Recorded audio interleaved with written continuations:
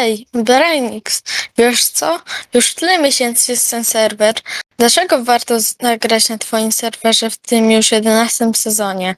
No dobrze, już ci wszystko opowiadam i wymienię ci wszystkie zalety tego serwera. Zacznijmy od tego, że w 11 sezonie operujemy już trzema serwerami, na których będziecie mogli pograć w różne minigry, a także na osobnym survival. A powiedz mi, jakie macie te minigry?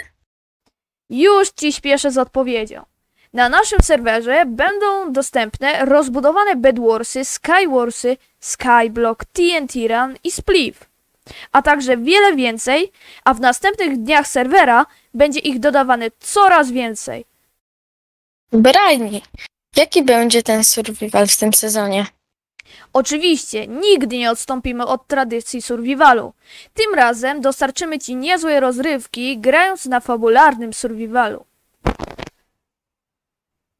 Ej, to naprawdę spoko. Czyli na jednym serwerze będę mógł robić tyle rzeczy, ale fajnie. A teraz powiesz mi jeszcze o infrastrukturze serwera poza Minecraftem? Z wielką przyjemnością.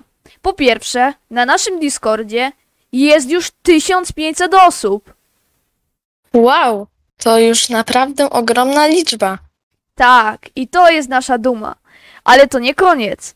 Mamy naszą rozbudowaną stronę internetową mcbetmc.pl, na której znajdziesz wszystkie informacje na temat serwera, a także będziesz mógł zakupić liczne przywileje. O, faktycznie, jak ładnie wygląda. Widzę, że wiele pracy w nią włożyliście.